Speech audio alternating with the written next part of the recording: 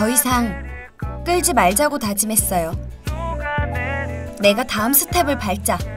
아닐 때 아니더라도 우리 관계를 확실히 하자. 라고요. 그래 물어봐 네가. 자, 들을 준비 됐으니까 시작해봐. 응? 그런 표정 짓는 거 할 말 있다는 거잖아. 아, 아닐 때 아니더라도의 태도가 진짜 중요한 것 같아요. 손 잡았다. 손잡았다. 우리 사귀자. 용기 냈어. 어? 그의 마음을 알고 있다고 생각했는데 막상 이 순간이 되니 심장이 너를 뛰더라고요. 어 놀랬어. 반응이 어떡하죠? 그래 저건 반기는 표정이 아닌데. 그런데 뭐야? 어, 어. 구두. 너구나? 너구나?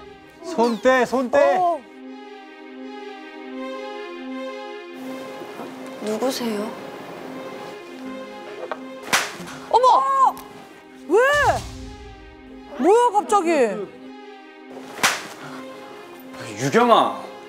이거 봐. 내가 누구냐고? 누군지 몰라서 물어? 이 남자랑 결혼할 사람. 결혼? 무슨 말이야? 지금 뭐라고? 다시 말해줘. 너같이 바람 피는 것들 때문에 죽고 싶은 사람이라고! 너 그만 못해? 나쁜 새끼. 썸에도 감이라는 게 있어서 분명 나에 대한 호감을 느꼈는데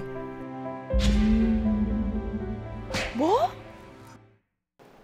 왜 그가 그토록 망설였는지 그동안의 의문이 풀렸어요.